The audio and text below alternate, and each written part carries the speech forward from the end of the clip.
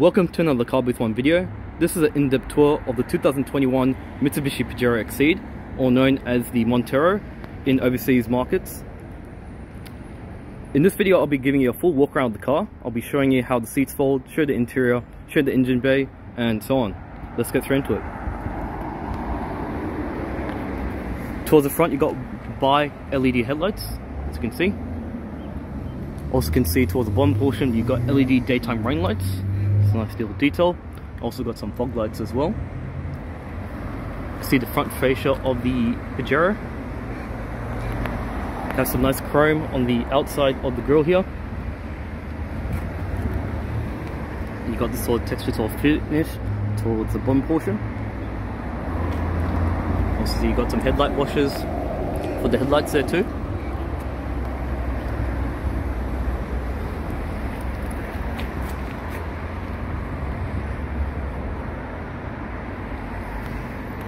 The fuel consumption of this SUV, this four-wheel drive, is 9.1 litres per 100 kilometres. Urban 11.1, extra urban 8.0. In terms of model I'm showing you is the Exceed model, the diesel as well. In the motion graphics I will show you the information in terms of the range and stuff like that. Show the wheels terms of the tyres, they are Dunlop AT20 tyres, AT20 Grand Trek tyres. They are made in Japan. In terms of the tyre size, they are a 18 inch tyre.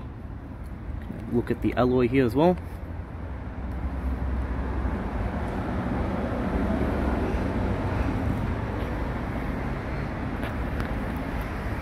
Chrome side view mirrors and you also have got some nice LED indicators on the side view mirrors to help you in visibility when you're changing lanes. You also can see you've got some side steps here as well. It's also textured as well, makes it easier getting in and out of the car.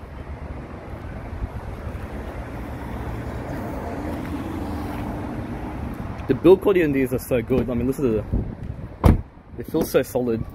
It's funny because they've been making these for like 20 years, but it's a 20 year old platform, but the bodies I guess new and stuff like that but very little has changed in the past 10 years. It's kind of interesting.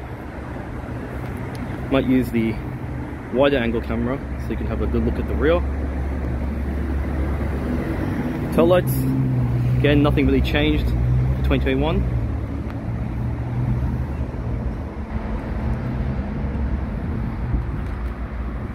oh, I think it's too zoomed in. I think I hit the wrong setting full size spare tyre in the rear. Pajero badging and you've got a reversing camera which is nice. Got a fog lights. Braking light I'm not too sure. Let me just double check on that. So third braking light at the top here. I think that's also a brake light. I'll double check that in the motion graphics. Got a single exhaust. Got you got individual suspension as well Let's get a little bit more underneath.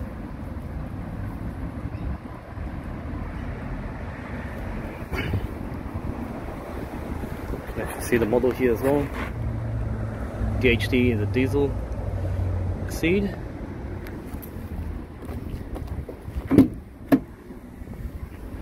Got a little spoiler there as well.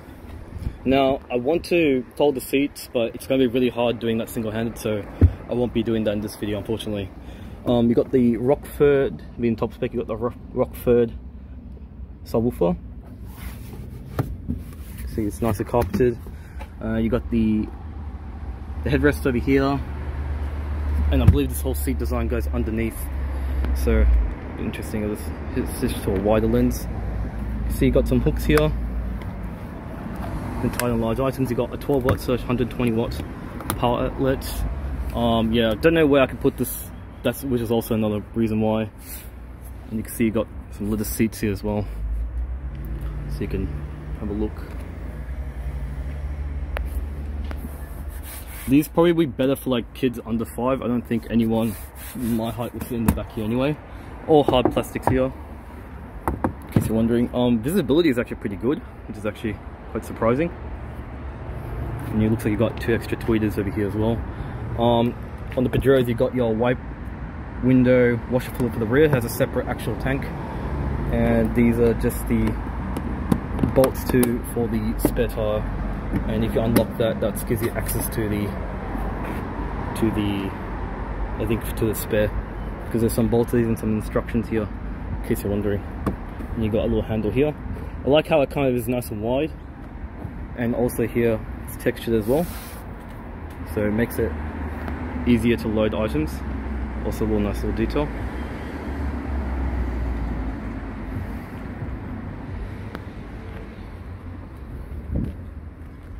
You can hear a little bit of um, quality. Solid. Four parking sensors on the rear. Sorry if I zoomed in a bit too much earlier. It's a bit hard.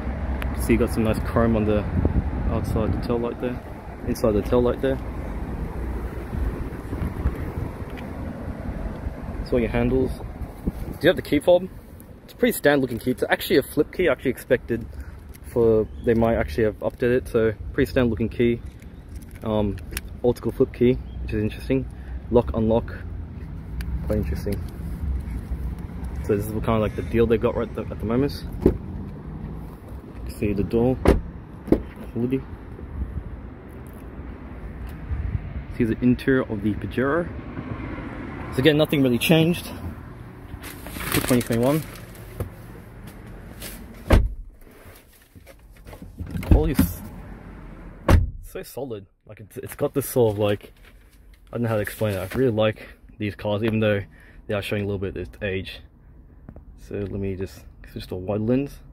So this is the interior of the 2021 Mitsubishi Pajero or Montero now I do have the key so I think it's easier if I put the key in the slot pretty standard.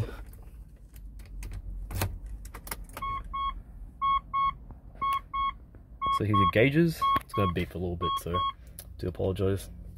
So towards you can see towards the left you got your speedometer your speedometer. Got your fuel gauge for the engine. Got a pretty standard basic trip computer also got um your little mode here so when you switch into four-wheel drive or oil drive little displays where the power is going to. If I zoom in a little bit more you can probably see there. Towards the right here you got your rev counter and your temperature gauge for the engine. So pretty standard stuff. Pretty simple. You can also see it's got this so nice graphics. Hasn't really changed at all as you guys know but looks pretty cool anyway. So you got leather wrap steering wheel it's quite nice. Also got some whoop, why aren't you focusing? Where's the camera? Always goes out of focus. There you go. So you got some nice black stitching here. Feels really nice. Even though the buttons are there feel pretty solid you can see. Still got some nice tactile feel back. Hands-free telephone answer answer cancel calls hands-free. With cruise control settings there. Be nice. You can see you got your wipe controls to the left and then you got your indicator and headlight controls to the right. And the right I believe is to activate your headlight washers you can see you press that button there. You can do that. Auto headlights so it's also pretty neat. It's quite nice. While we're here we might just turn on the forgot you also got this hasn't really changed either. So apart from showing a clock it's got i believe a compass as well. So if i press this you can actually cycle through a lot of different features. So you've got elevation so that's pretty good. You've got a barometer wow. Um wow hasn't even changed it haven't even changed the, the date so it's been the default to 2006 um yeah so you can actually turn off it completely and i think these are all these you can change all the information here. Liters oh that's a reset i'm not too sure and to, i think to adjust the clock or something. Um other little things you can see obviously your time temperature outside and what i just showed you earlier so pretty cool stuff so whoop, sorry so range speed yeah that's also nothing nothing really new you do have i guess a updated screen but i think they uploaded this i think a few years ago um so you can put apple carplay and Android Auto, I guess that's good. Um, you also have DAB digital radio and FM. So you test out the radio. It probably hasn't been adjusted yet, so it's going to sound, hasn't been tuned or anything, so it's going to be kind of average. Sorry to do that quickly because of the because of the copyright. So you can see a little radio test you can hear.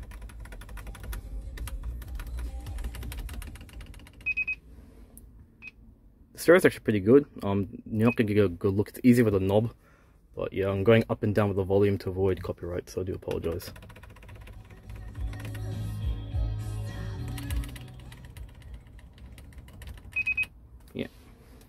But you get the idea. It's, yeah, it's not too bad, the responsiveness. It, is a little bit dated, I'll be honest with the graphics, you can see. Um, does it have navigation? I don't think so. It does. Oh, it does have GPS. Um, oh, okay. I I don't think it has um navigation, but I don't think you're going to really use it. So yeah, so pretty pretty standard, nothing really new there to be honest. Uh, phone, iPod, not like anyone uses the iPod, USB. Um, yeah, pretty standard sort of stuff. But yeah, I, yeah, pretty simple. Got your AC controls here. So, so in terms of the highest temperature, looks like is 32, and lowest is 18.5 so you can see feedback feels pretty good front zero mode recycling rear all that can hear it turning on right now. Pretty standard stuff. Can you even feel the switches you can see? Feel pretty solid.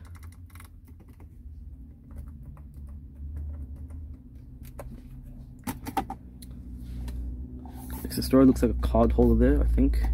Um, standard controls here you got heated in heated seats low high additional buttons a power outlets there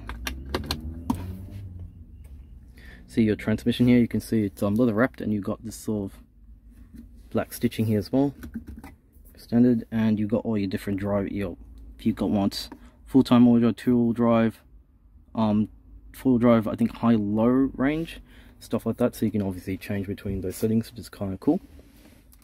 So also even here, you can see the gear selector is also made from leather. Bit of movement there. Anyhow, got some cup holders, but this is more not really that great. But you know, it can fit these, which is good. So you got a 750 milliliter bottle. It doesn't fit on the sides here, which is kind of a little bit unfortunate. But um, yeah, it's alright, and it's a little bit textured as well. Got some more gloss black trim as well. All pretty alright. You can see some storage here. And you looks like you got some additional ports. You got HDMI port, which I don't think you'll use to be honest. Two USB ports as well. see the dashboard's actually some semi-soft touch material. It's a bit more robust. Let's try to focus the camera. All pretty neat. Standard bending mirror Get some more here. Another one there. Got a actual powered sunroof, which I'm not to really bother opening, which is actually quite large, so I guess that's cool. See here, you got, so my camera's shaking because I got a problem with my hand. You've got some silver stitching here, and if I open this one, you got some storage there, textured open the second compartment, which I don't know how to, I think it's this one. There you go. And then you've got some relatively deep storage, I guess, with this power outlet there too. The model you see here is a 2021, that's proof here, and it's going for 62,730. And these are what you see. Sterling silver the color, in case you're wondering. See leather seats. You can see here you can See the silk stitching. Stand handbrake, all of the wrapped.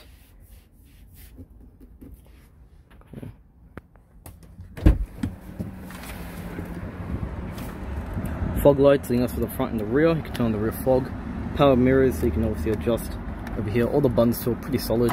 AC is obviously going to be pretty cold. Mitsubishi does make air conditioning systems too. Mitsubishi Electric, you know.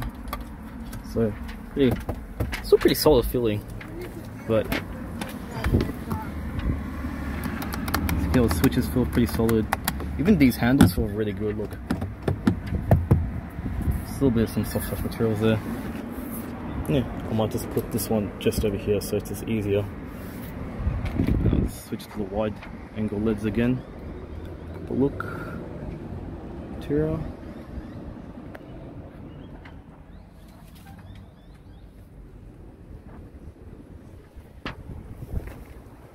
It's gonna be a bit hard.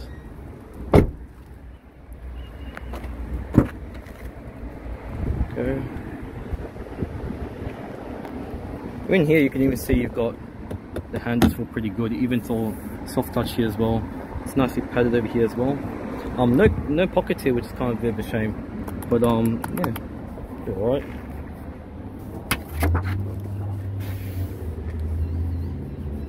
Let's jump into here. It's got a step here, which is good. So if you're pretty short like myself, you'll be able to have some decent room. Even the doors in the rear, pretty solid feeling. So you can see here you've got some switches here, fan speeds, cool and hot air. Um, unfortunately, no, it looks like there's no vents for the rear, so I think it's all ducted underneath the seat. Um, oh wait, what am I saying? There's actually vents up here, what am I saying? Okay, I apologize. But you got vents up here, which I guess is good, with some reading lights, which are not turning on at the moment. So I'm trying to put this up. Press this out, it's like got some cup holders so I can put this drink here, which is good. So I figured that at least you can put your drinks there, so I guess that's nice. Um, with some flex there, but um, yeah, pretty alright. Oh, that sprung that pretty quick. Put that there. So it's quite flat in the center, so you can see you can easily put your feet. Um, doesn't really intrude, but it is quite a little bit more higher than I thought. But um, yeah, so I'll just show you the dashboard from the seat.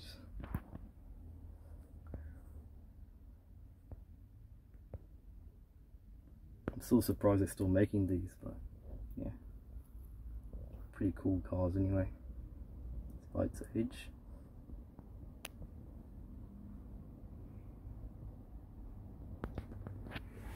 Got some additional handles here, makes you feel a bit more robust. Sorry, gives you a bit more stability, especially going off-road and stuff like that. Did mention these are all soft touch materials, it's nice. Yeah. I want to try the rear seats but I can't because it's just too hard to be honest. So I'm just going to show you. Um yeah it's just going to be a bit of a, a, bit of a nightmare so unfortunately I can't but I'll just move this out of the way. So definitely if you're under five you'll fit here but it's not really much um it's not quite deep so your knees are going to be literally up pretty high so it's a little bit uncomfortable. Apart from that you can see the rear visibility is pretty good. You do have a bit of blind spot there and over there but um overall got, got got a lot of glass so i guess that's pretty good so it's quite nice. And you do have ventilation which is also good so you got air conditioning for the rear if you do carry anyone. But um yeah pretty cool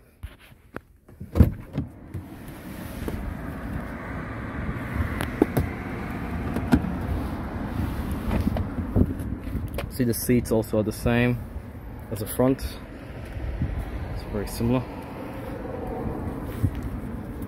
and you got some pockets there. I did, oh, there actually is some vents over there. I actually didn't see it. But um, yeah. Also textured here too, so nice.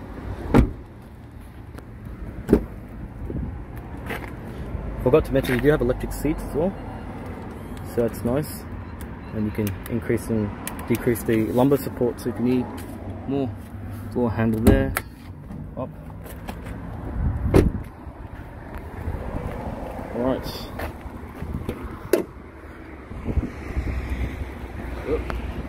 It's gonna be a little bit hard, but there you go. Sorry about that. So here's your engine. Diesel engine with a four cylinder, if I'm correct not really much to see because you do have the um, you do have the oops sorry got some messages coming up. You do have the engine cover. To got go your battery diesel fuel filter coolant.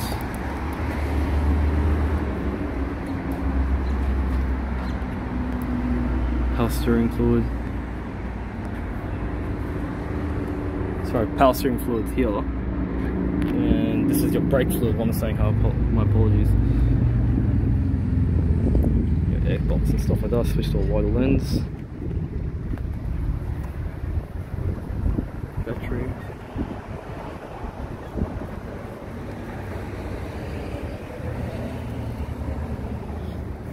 If you live in like a third world country, these are so popular, especially like in my home country, Sri Lanka. Like everyone drives one of these. It'll either be this or Land Cruiser. Like everyone loves these sorts of cars because they can go anywhere.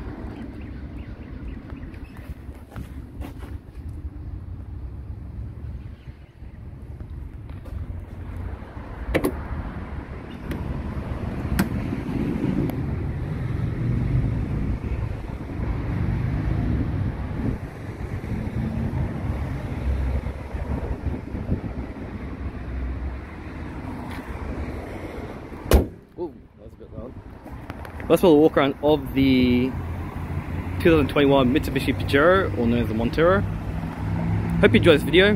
This probably might be the last year they might make this car. It is showing its age, I'll be honest. But um, I'll be pretty excited if they make a new one, so I'm pretty looking forward to it. Hope you enjoy this video, and feel free to like and subscribe. And if you are interested in this car, feel free to check out Eastside Mitsubishi. That's where this car is at. Um, if you're interested in purchasing this car. Thanks for watching, and I'll see you guys in the next one. Take care, guys.